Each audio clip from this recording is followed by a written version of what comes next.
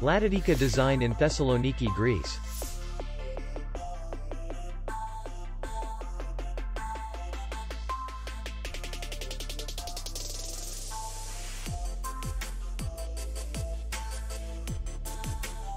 The hotel is in the city center.